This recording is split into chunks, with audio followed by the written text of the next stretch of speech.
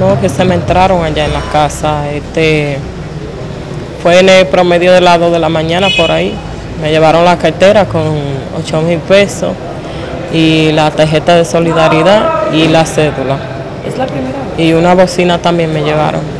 Sí, primera vez que se entra para la casa. ¿Te ha robado otras veces? Me había llevado cubo del patio. ¿Dónde sucedió esto? Eh, detrás del Liceo Manuel Enrique Ureña. eh, mamá tengo primera etapa. Es la primera vez que te roban. Eh, va- es la tercera, pero él se había llevado cubo, era. No se había llevado, no se me había entrado para la casa. Tú no sospechas de alguien. No sospechas de alguien. No, allá fue un tipo y preguntó a un vecino de allá que si que si él vivía ahí, el vecino le dijo que no. Pero yo no puedo especificar de qué fue ni fue nadie, porque por ahí pasan varias gente. Yo no puedo especificar quién fue. ¿Qué tú le pides a las No, que se muevan, que yo sé que dinero no se va a conseguir porque ya el que fue se lo metió de vicio o algo hizo con él, pero que, que tomen carta en el asunto y se pueda agarrar por lo menos el ladrón.